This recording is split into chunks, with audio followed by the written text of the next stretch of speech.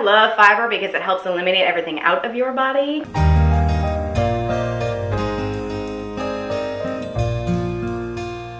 Everybody, I'm Ruthy Otero from my one person show, and I'm here today with my good friend Jill Anenberg Lawrence, who I enjoy calling Jilly Jill. Jilly Jill! Jilly Jill is a board certified holistic health coach and personal trainer. The reason I invited her is because I'm going to be doing my show within about 60 to 90 days, mm-hmm. and I thought she would be the perfect person to talk to to get in shape. I have kind of a body conscious um, costume, so I want to get rid of fat, but I don't want to lose weight. Mm-hmm. What can I do with my nutrition to help me do that. You have to make sure that you're having enough protein. Protein is what's going to sustain, it's going to feed your muscles. Cutting out stuff like cheese and a lot of the high dairy products because they're okay. so condensed with like so much saturated fat. You know, in terms of like you're talking up on stage a lot, it produces a ton of mucus. Yeah. Adding in good stuff like wild salmon. I'm not like a huge meat person, but if you do, grass fed, what if I'm trying to avoid meat? So beans, legumes, lentils are great. They're so high in protein and fiber. Tempeh is great. It's fermented soybeans. Oh. And also you want to cut out a lot of the, the shitty sugar, you know, where it's refined white sugar. I love my sweets, but you want to have stuff that's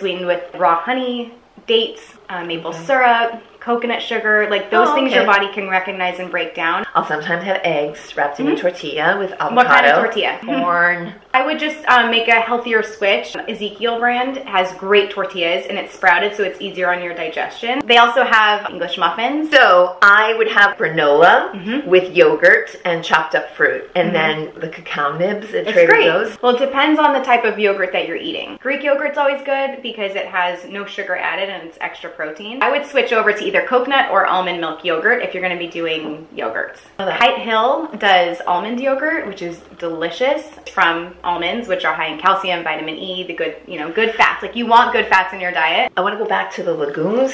Which, legumes. Oh, with my beans or legumes. I want to have rice. So white rice, they break down really quickly, okay. so you immediately digest it. Okay. But if you're trying to have sustained energy, that's why you want to have like brown rice, quinoa, millet, um, buckwheat, like any of those are great because they're high in both fiber and protein. Give me a quick list mm-hmm. of what the foods that I can eat and burn calories. So apple cider. There are foods that can help me burn calories. Yeah, apple cider okay. vinegar. It doesn't taste great, but if you put a little lemon juice in your water and drink that before meals or first thing in the morning, oh, that's okay. going to jumpstart your metabolism. Adding cayenne pepper or any type of chilies to your food, that ramps up your metabolism. Having leafy greens, blueberries, So salmon. what is speeding up my metabolism? I feel like that's going to make me lose weight. But it also is just going to keep you like burning and incinerating any of the fat that you want to lose. Oh, okay. One other thing, because I know there are people who are like, what kind of problem is that? Everything that you mentioned, will it also help me lose weight? Yeah. Yeah, because those foods are healthy, they're high in fiber, they have tons of antioxidants. For Ruthy or anybody else who loses weight really quickly, it's making sure that you're having a good pre and post meal with both protein and carbs. And after, fiber inhibits your protein digestion, so you just want to have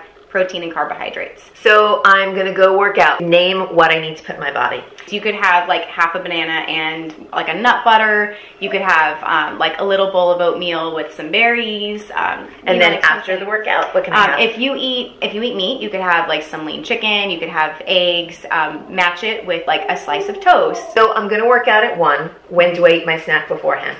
I would eat like maybe 45 minutes or an hour before. Awesome. And I finish my mm-hmm. workout at 2. When can I eat? You want to eat within 30 to 45 minutes. If I go and take a spin class, I bring a shaker bottle with protein powder in it and I just mix it with water and chug it on the drive home. Okay, so this is a big one. Okay. I do an hour long show. Mm-hmm. I got to memorize this. Mm-hmm. So is there anything I can eat that's good for my memory? Yeah, so foods that are high in omega 3 fatty acids. Omega 3? Omega 3s feed your brain. So it's a fatty acid. Our brains are 60% fat. So think of things like wild caught fish, um, salmon, trout, tuna. If you don't eat fish, you can have walnuts, flax seeds, flaxseed oil, spinach, broccoli. Any of those items are high in omega 3s, or you could just take oh, a supplement. Any fruit? Berries are good. Berries are high in anthocyanins, which increase your cognition and in turn will increase your memory. Oh. Um, sipping on green tea, not only does it help you like speed up your metabolism and thin out a little bit, but it's a brain booster because it has theanine in it. I just recently wrote a blog on casting networks. We can link it in here. That's all about so many different factors that play into memory, you know, with stress and what you eat, what you shouldn't eat, all that stuff. what snacks would you recommend that would increase my creativity? Anything? So you guys are gonna love this. Um, having in moderation, like a cup or two of coffee, because obviously we know there's good and bad sides of caffeine. Okay. But it expands our blood vessels. It makes you excited, like you want to get Oh. work done. Um, but having one or two cups, because then you're not getting all jittery and crazy. Okay. Um, if you don't drink coffee, yerba mate tea is great. It has um, naturally occurring type of caffeine in it. It just gives you that boost and makes you all excited and wanting to write or to perform or do what you need to do. Um, and then going back to chocolate, raw. That's dark heard. chocolate. hmm So cacao, it's the rawest form of chocolate. It has anandamide, which is the bliss chemical, so it makes you feel all good. So what about those chocolate bars that are like 73% cacao? Those are cool. Yeah, if you just want your dark chocolate to have a couple different ingredients. Is there any way to deal with the stress? Because the deadline's coming, things are happening, and I'm getting stressed out. So cacao, Uh-huh. it's a superfood and it's really high in magnesium, which helps slow down your nervous system and chill you the fuck out. Okay. Really? Can I say the F word? Be yourself, girl. Be yourself. Cashews are high in zinc, which is linked to reducing depression and anxiety. Yeah, and berries are great again, really high in vitamin C, and vitamin C helps battle stress. So I'll be in rehearsal where I need my energy, and sometimes I'll just reach for a chocolate bar to keep me going. It Yeah. kind of puts me all over the place. Um, you can make your own little trail mix. Like pumpkin seeds are also um, really great for relieving stress. You know, I would make a trail mix: almonds, walnuts, pistachios. If you are craving something sweet, a couple of the dried fruits. You can do dried apples, um, figs, dates. Those will give you like quick energy, but it's not gonna like spike your blood sugar the way a Snickers bar would. And then there's tons of really healthy bars out there. I love Go Macro, the Kind Bar, which I, I only eat the one dark chocolate with sea salt because it has the least amount of ingredients all recognizable. If you want something sweet, that's the way to go. Um, Health Warrior has amazing bars. They're all made from ancient grains and Wow. all plant protein. So if you're vegan or vegetarian, those are awesome. I usually bring an apple. Is an apple I good for love apples. Yes, apples are awesome. Green apples have the least amount of sugar, but you always want to make sure, seriously, to get organic apples and organic berries, anything leafy, anything that's sprayed with the pesticides and herbicides on the area that you're going to be consuming, because there's like 40 to 50 different chemicals on there. A gala apple with walnuts Yes. and dried apricots. I'm, I'm set for my rehearsal. I would just do fresh fruit and the nuts and leave out the dried fruit for later because you don't want Oh. to double up on the fruit. So it's the day of the show.